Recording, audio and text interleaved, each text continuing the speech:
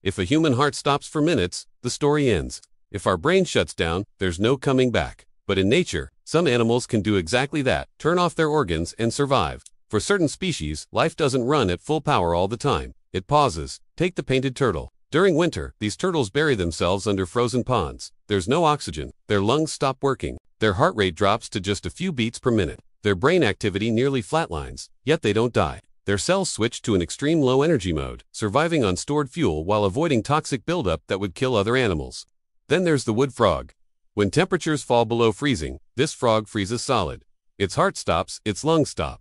Blood flow stops. Ice forms inside its body. Months later, when spring arrives, the frog thaws, and its organs turn back on. No damage, no memory of death.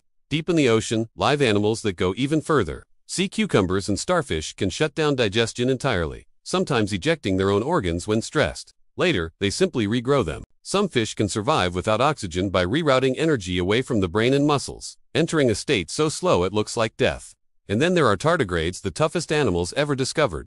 They can shut down almost all metabolic activity, losing over 95% of the water in their bodies. In this state, they don't eat, they don't breathe, they don't age. They can remain like this for years and return to life when conditions improve. So, how is this possible? Because these animals don't fight survival the way we do. They pause it, their bodies know when living fast would be fatal. And as scientists study these creatures, one idea becomes clear. Life doesn't always end when organs shut down. Sometimes, it's just waiting. Subscribe for more stories where science sounds like fiction.